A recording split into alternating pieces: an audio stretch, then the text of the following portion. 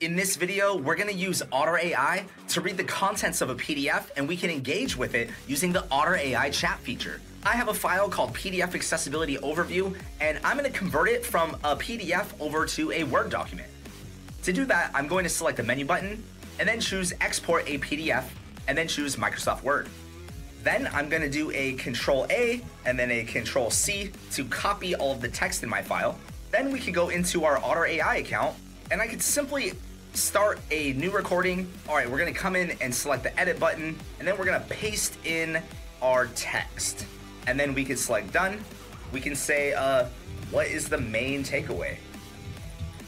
And it will give us a description of what the main takeaway is. Now, I only pasted in a short paragraph here, uh, but you could paste in multiple pages and have a full on conversation using the AI chat feature. And as always, I could be your champion for inclusion, and I'll see you next time.